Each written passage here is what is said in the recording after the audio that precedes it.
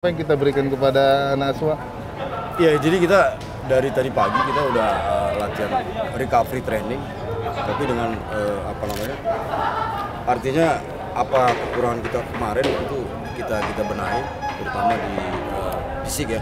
Jadi tour tadi pagi lebih banyak kita berlari, tapi tadi sore ini kita lebih banyak ke uh, strength endurance, tapi dengan bola. Semuanya dengan bola. Jadi latihan hari itu hari ini seperti itu. Pak, tadi RH nggak ada, Pak. Kenapa, Pak? Kira-kira? Istrinya melahirkan. Oh. Jadi izin deh. RH-nya. Jadi izin. Oh, bukan bukan, RH-nya. Yang melahirkan. Istrinya. salah. Nanti salah persepsi. Art- arti- artinya dia Kan hanya kadang-kadang payah kita nih. Betul. berarti dia hanya la- izin latihan hari ini aja. Besok masih langsung latihan gabung. Atau Iya. gimana? Tapi Besok kan direncanakan dia mungkin hadir. tapi lah di pekan baru dia nggak mau apa gara-gara gimana?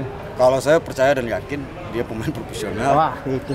Dia pasti eh, tahu skala prioritas apa yang mau dikerjakan. Itu jawab. Pak, untuk dua pemain yang katanya akan berhadir hari ini, Pak. Dua pemain. Katanya kan akan hadir hari ini, tapi kan nggak kelihatan, Pak. Ada pemain baru. bilang kemarin pak. Ya, Pak Mul yang konfirmasi saya. pelatih, pelatih nggak tahu kok. Aduh, aja gitu. Pelatih nggak tahu. Yang mau datang, tahu saya yang mau datang dua, satu keli. Hancur kita, Pak. Satu lagi Pak, Iya, futsal lagi ke mana tadi Pak? Ada latihan tapi kok penutup nggak ada kayaknya. Itu bukan. Iya kan kangen. Dia istrinya, eh sorry, Melahirkan juga. mau suntik ini. Bukan vaksin. Polio. Kalau anak yang baru lahir Imunisasi. imunisasi. Alah. Karena apanya jam setengah jam setengah enam. Dokternya. Jadi keberangkatan gimana Pak untuk ke Riau? Keberangkatan. Siapa? Tanya sama, sama manajemen aja. Di bawah.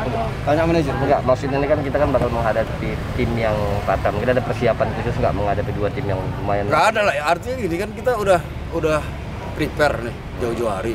Kita bakalan ada uji coba. Siapa pun lawannya ya kebetulan lawan Pekanbaru, ya udah nanti itu yang kita akan tuangkan sana. Target nggak ada, ya?